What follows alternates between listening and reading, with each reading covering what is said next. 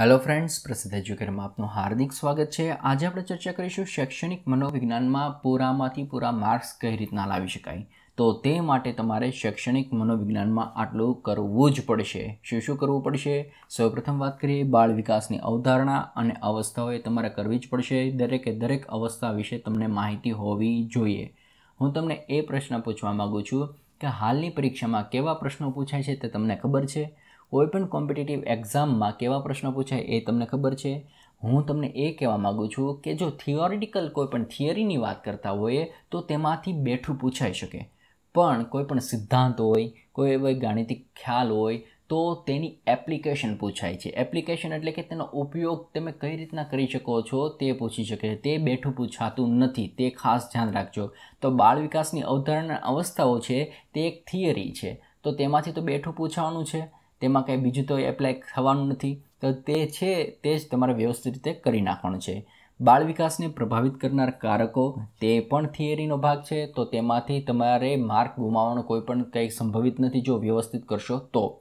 અધ્યયન, અધ્યાપન પ્રક્રિયાઓ, તે પણ ફિક્સ લિમિટ આપેલી છે. તેમાંથી જ પૂછવાનું છે. શિક્ષણ સૂત્રો, ક્યાં ક્યાં શિક્ષણ સૂત્રો છે તે હવે દરેકને ખબર હોવી જોઈએ. મનોવૈજ્ઞાનિકો દ્વારા અપાયેલા મંતવ્યો અને વિધાનો અથવા તો કથનો. આ ટોપિકમાંથી એક પ્રશ્ન અચૂક પૂછાય છે.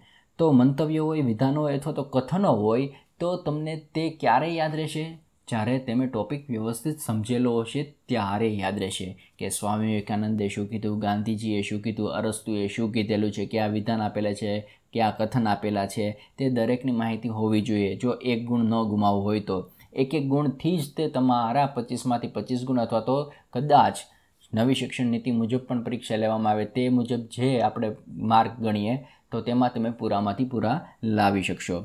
શિક્ષણમાં આવતી કસોટીઓ અને તેના રચનાકાર, તો શિક્ષણમાં કેટલી કસોટીઓ આપણને પૂછાઈ શકે છે, કેટલી કસોટીઓ આપણને બીએડમાં ભણવામાં આવી ગઈ અને તેના રચનાકાર ક્યાં ક્યાં છે તે આપણને ખબર હોવી જોઈએ. શિક્ષણ પંચો, નીતિઓ અને કમિટીઓ વિશે માહિતી હોવી જ જોઈએ, હોવી જ જોઈએ અને હોવી જ જોઈએ. માનો કે તમે ટેટની સાથે સાથે ટાટની તૈયારી કરો છો જી સેટની તૈયારી કરો છો, નેટની તૈયારી કરો છો, તો તેના માટે પણ શિક્ષણ પંચો, નીતિઓ અને કમિટીઓ ખૂબ જ અગત્યના છે. જીપીસી માટે પણ ખૂબ અગત્યના છે. શિક્ષણની પ્રયુક્તિઓ વિશે પણ માહિતી હોવી જોઈએ. શિક્ષણને લગતા દરેકે દરેક કાર્યક્રમો વિશેની માહિતી હોવી જોઈએ. તેમાં પણ ખાસ કરીને સાક્ષરતા કાર્યક્રમો વિશે માહિતી હોવી જ જોઈએ. શાળા શિક્ષણ અભ્યાસક્રમનું માળખું શું છે અને શાળાકીય સર્વગ્રાહી મૂલ્યાંકન પત્રકો ક્યાં ક્યાં છે તેની વિશે પણ માહિતી હોવી જોઈએ. અભિપ્રેરણા કોને કહેવામાં આવે છે, મૂળ પ્રવૃત્તિ અને સવેગ કેટલા છે તે કેની સાથે સંબંધિત છે તે પણ માહિતી હોવી જોઈએ. માપન અને મૂલ્યાંકન કે જે અલગ ટોપિક છે તે સંપૂર્ણ ટોપિકની પણ માહિતી હોવી જોઈએ.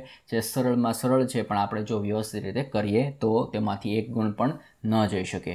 સમાયોજન, સમાવેશી શિક્ષણ, લર્નિંગ ડિસેબિલિટી જો લર્નિંગ ડિસેબિલિટી છે, તે સી ટેટ માટે તો ખૂબ જ અગત્યનું છે, પણ એસ ટેટ એટલે કે કોઈપણ રાજ્યની ટેટ માટે પણ ખૂબ અગત્યનું છે. પ્રજ્ઞા અભિગમ વૃદ્ધિ વિકાસ અને બુદ્ધિ. વૃદ્ધિ વિકાસ અને બુદ્ધિમાંથી એક પ્રશ્ન તો અચૂક પૂછાય જ છે. વ્યક્તિક ભિન્નતા, વ્યક્તિત્વ, સર્જનાત્મકતા, તેમાંથી પણ પ્રશ્ન પૂછાય છે. આરટીઈ બે હજાર નવ એનસીએફ બે હજાર પાંચ.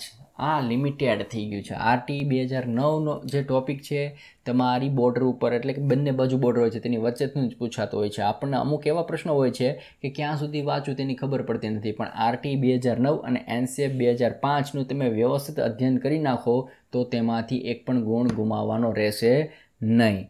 તેની પછી વાત કરીએ સૂક્ષ્મ શિક્ષણ સિમ્યુલેશન પાઠ આયોજનની તો તેની પણ માહિતી તમારી પાસે હોવી જોઈએ. અને ખૂબ જ અગત્યનો ટોપિક છે શિક્ષણ સાથે સંકળાયેલ દરેકે. દરેક વિધિ કઈ કઈ છે, તેની સાથે સંકળાયેલ મુદ્દાઓ ક્યાં છે, તેના જનક ક્યાં છે, તે તમને ખબર હોવી જોઈએ હોવી જોઈએ અને હોવી જ જોઈએ. અહીંથી જ તમને મોટાભાગના પ્રશ્નો પૂછાય છે.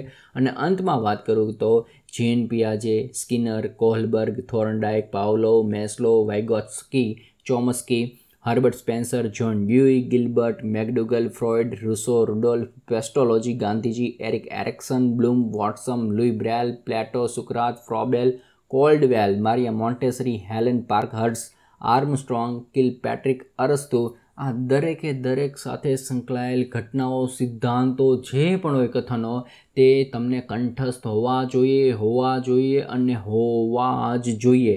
તો હું તમને ગેરંટી આપું છું કે શૈક્ષણિક મનોવિજ્ઞાનમાંથી તમારે પૂરામાંથી પૂરા ગુણ આવશે આવશે અને આવશે જ. અને હું ટૂંક સમયમાં તમારી ટેટની પરીક્ષા આવશે, તે પહેલાં દરેકે દરેક મુદ્દાઓને ઊંડાણપૂર્વક સમજાવીશ અને કેવા પ્રશ્નો પૂછાઈ શકશે તે પણ સમજાવીશ સમજાવીશ અને સમજાવીશ. તમારો ગુણ નહીં જાય તે હું ગેરંટી આપું છું. જો તમે વ્યવસ્થિત મારી સાથે જે હું જે રીતના કહું તે રીતના તૈયારી કરશો તો સમજાય છે?